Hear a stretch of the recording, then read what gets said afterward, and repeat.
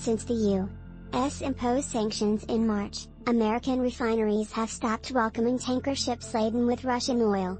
But Russian crude exports to other parts of the world have been increasing. The American sanctions aim to cut the hard currency revenues that feed the Russian economy and its war effort. 36% of Russian federal budget revenues came from oil and gas last year, according to Russia's finance ministry. But while the U.S., Canada, the U.K. and Australia have formal embargoes, most countries around the world don't, and oil refineries from India to Spain are still purchasing Russian crude. A drop-off in Russian oil exports was minimal and has strongly rebounded in April, despite fears of supply shortages driving recent high oil prices, says Matt Smith, lead oil analyst at Kpler, a data analytics firm. Russia has earned more than $12 billion from oil exports since its invasion of Ukraine, according to the Center for Research on Energy and Clean Air, an international research group.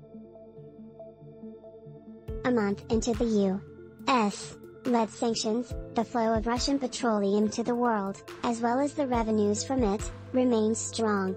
Much of this oil trade is facilitated by a highly efficient and sometimes controversial group of middlemen, oil trading firms.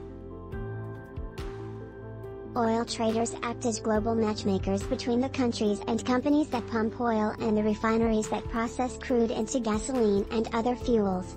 We're merchants, says Saad Rahim, chief economist of Trafigura, a commodity trading firm that handles about 7 million barrels of oil and prod.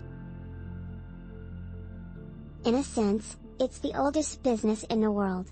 Trafigura is one of a handful of companies in Switzerland that handles about a quarter of the world's oil each day.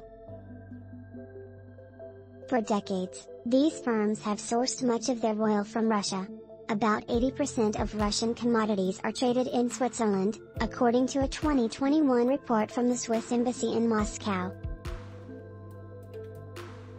Some oil traders also have stakes in Russia's state oil company and its assets, including an Omega project in an environmentally fragile part of the Russian Arctic.